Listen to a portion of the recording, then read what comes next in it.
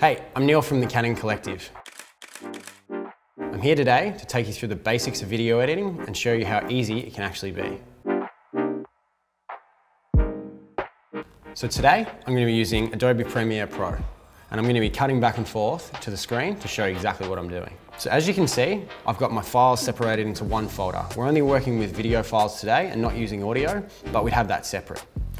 So we have our video files here. As you can see, I've recorded in MP4 and these are C-Log files. Now the Canon EOS R is able to record in C-Log and C-Log is basically the video version of a photo RAW file. It'll give us a little bit more to edit with, which we'll see today. So I'm gonna start the process by importing in all of my video files here. So I've only got five files, but it'll be enough to create a short video. So I'll select them all and drag them over into Premiere. And as you can see, you've got our import media to start section to drag and drop so we're ready to go. Our files will import and here's where our files will be. Over here we have our program panel, which is where you're gonna see the result of what we're doing. And here is our timeline, which is where we're gonna drag our video clips down to. So we'll drag the first clip down here. Now as you can see, up in the program panel, this is where you'll be able to see all of your changes. So I'm using 4K footage today. The name 4K comes from the fact that the horizontal resolution is roughly 4,000 pixels wide. 2160p just doesn't have the same ring to it. So you see here, you've got a little box to the right that says 1-4. Now what this means is I'm currently viewing my footage at one quarter of the size of it actually is. The last thing I want to do is try and edit footage at 4K. So the file size of 4K is so large that the computer's going to struggle. So we use one quarter of the footage just to edit in and then we export in 4K. Now my file has a little bit of shakiness to it.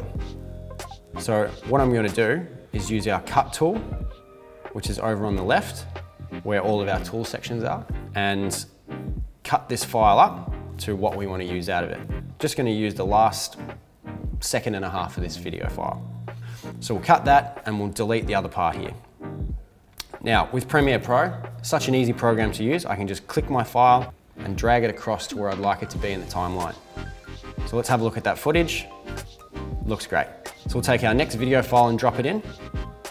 And as you can see what I'm doing now, I am able to click the start of our video file and drag it across. And what that will do is shorten our video file. It's just another way of using the cut tool, but both processes are the same. So we'll drag that up and across next to our next video file. And I'll do that with another two files for today. So here we have our four video files all ready to go and ready to be edited. So as you can see, with our C-Log files, they do look a little bit washed out and not as sharp as they should be. The reason being is because it's a flat, raw file. So let's get into editing them.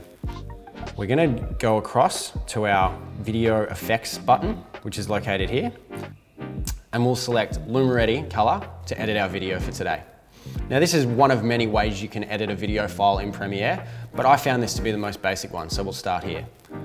Now with a video effect, we select which video effect we'd like to use, drag it across, and add it to our top of our file well, you'll see the effects control button up the top, and this is where we're able to change all of our effects, such as basic color correction, and if we want to be a little bit more creative. We'll go up into basic correction, we'll start with that. And basic correction is where we're gonna find white balance, temperature, tint, exposure, contrast, all those things you'd normally find with a photography file in Lightroom on the right-hand side. This is where those are gonna be located. And because we've recorded in C-Log, we're able to change things around quite a little bit more than if it was just a standard file. So we'll start with our temperature. Now you see you go to the left or the right. To the left we'll make it a little bit cooler and to the right will go warmer. I was pretty happy with how this looked in camera, but I'll add a little bit more warmth so you can see what happens.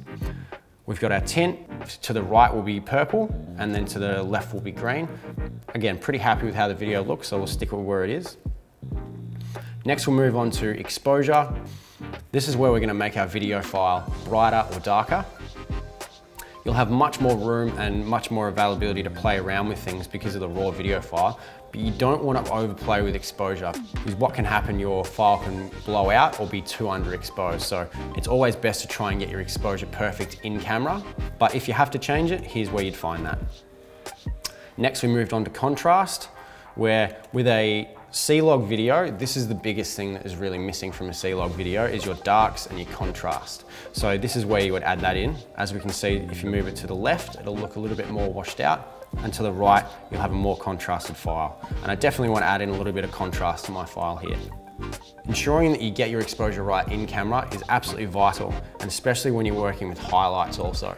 So this is where we'll change those highlights around only a little bit and finish off with our whites and our blacks, which is where you change your whites and your blacks on your video file. The last step in our creative process for changing our video here is seeing our saturation. So this is where you can make your photo black and white or boost up your color. I like taking a little bit of saturation out of my video files that look like this. So we'll take that down to just 94%. The next tab we'll find is the creative tab. So the options you have in your creative tab are faded film, sharpen, vibrance, and another saturation tab.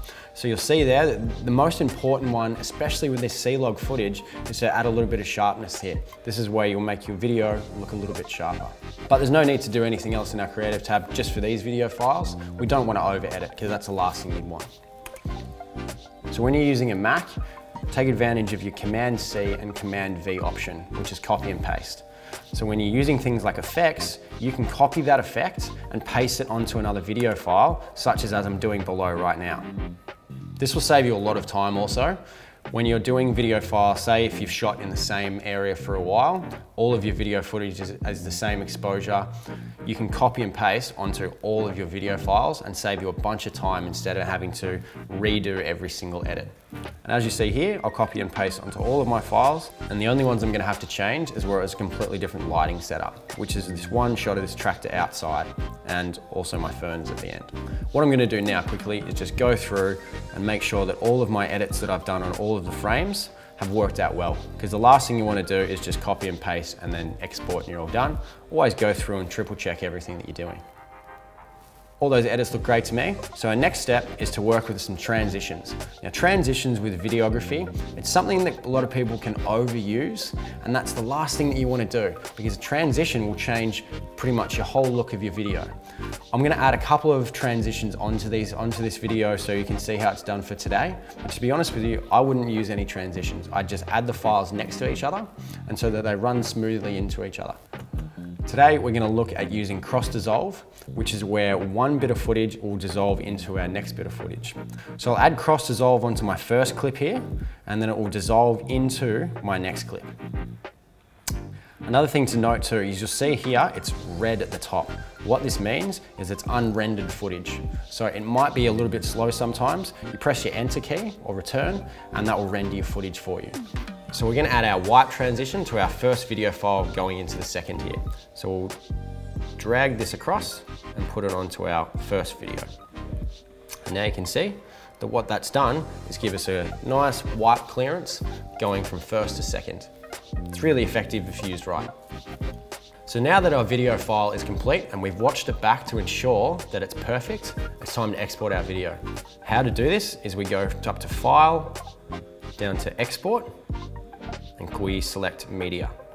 This is where things can get a little bit confusing if you're not sure which export setting to select. So here we have our presets. So you can select everything from match source. If you're uploading something to Facebook, you'll see that there's a Facebook option here for 1080 or 720. What can happen with Facebook video sometimes, it, it can be compressed. So that's the perfect one to select to ensure that your video is still seen at the highest res. The setting that we're going to select today is going to be YouTube 1080p HD. And HD stands for high def. Next is to select our output name. So this is where you name your video file. For today, I'll just put test video and also where your file is going to be located.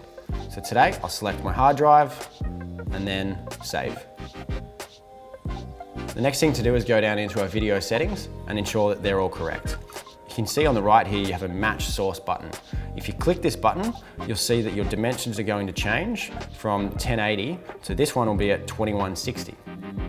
What that match source button does is matches the settings to what your video file was. I don't want to do that today because I only want to export in 1080, not in 4K. So I'll go back and select my preset as YouTube 1080p. So one of the most important things when you're exporting video, especially for Instagram, Facebook, is to go to our bitrate settings and select bitrate encoding VBR 2 pass. So by selecting VBR 2 pass, you'll ensure the best possible quality for your video. Last but not least, we'll select use maximum render quality, which again will give you that best possible quality, and then use previews. So if we're uploading to YouTube, this will give us previews to be able to use for our thumbnail. And then we click export, and you're all done. So thanks for joining me today. For more tutorials on how to shoot video, head over to our website.